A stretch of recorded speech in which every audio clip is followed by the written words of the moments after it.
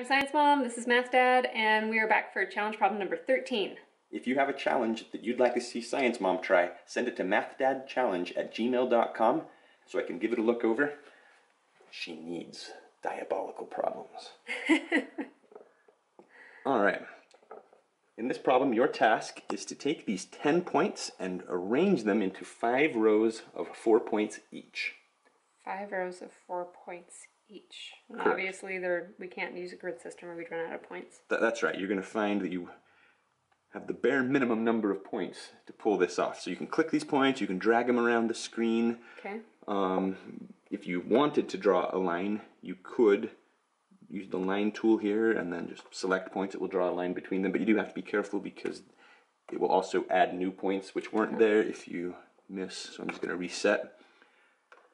Any questions before we begin? No two lines may share more than one point.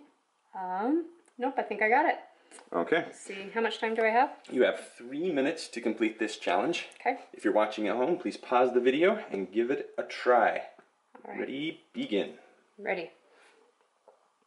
So it's, I feel like the first thing to do would be to make two intersecting lines of four points and then and then evaluate. So I've got three remaining points and that means that every time I add one of these points I need to make another row of four. Oh, good grief. Because then I, I get a row of three. Um, maybe intersecting partway through, maybe the V will be better.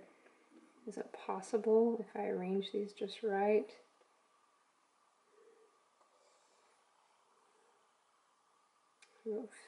Three, three. Hmm.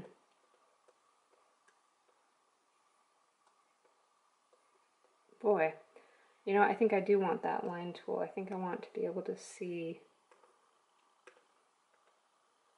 where, so if I have that angle,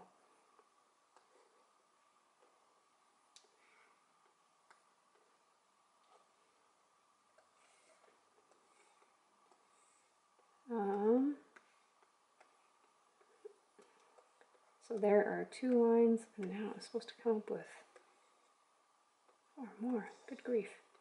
One, two, three, one, two, three.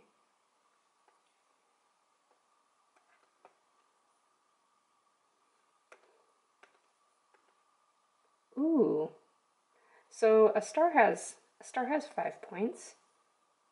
Um, so there we have a five-pointed star. One, two, three, four, five lines. And now let me kind of throw these off to make it a little more. Oh, the intersections! Look at that. All right, there we have ten points, five lines of four four points.